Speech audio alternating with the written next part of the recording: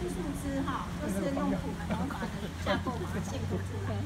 那所以其实夏天夏天的来讲，对这些植物它它的生长只会比较慢一点。好，那我们也是就挑，比如说地瓜叶啊，它也也比较容易长。好，那你看一下有洛神，那这个这个就基本的，这个是让它虫虫可以让虫哦不要靠近，就是花园会种一些芳香的树群，因为虫的东西它还是会到到处会会吃嘛，吃一些叶子什么的嘛。那我们可以示范一下，像我们这个带着吧。这个黄空菜啊，我们都是扦插的啦，哦，就是用现成的材料，然后扦插，没有说专程去买，好，都是几乎都现成的东西，然后扦插，然后这小辣椒啊，好，都是让它自然生长。这个是什么？这个是小叶的左手香、倒手香，小叶倒手香，对，它它长出来，其实夏天长出来还是没有没有办法长得非常的茂盛。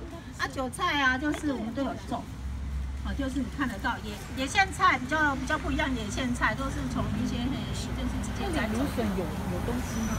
芦笋它现在也是在在就是慢慢，哎，我们就是培育而已，小苗开始种。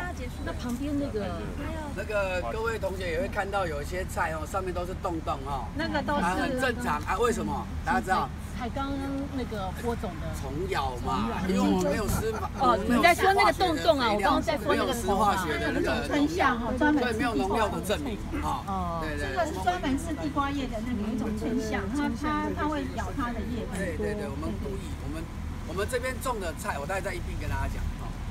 对，那其实这个菜就是说，是希望说跟我们那个渔场那边有一个老人共餐哈。那老人共餐，他们就是说中餐的时间，我们也是尽量提供说，哎有没有现成的一些可以让他采收，然后供给老人供餐使用的一个结构，希望是配合老人供餐的一个一个一个一个共餐用的东西这样。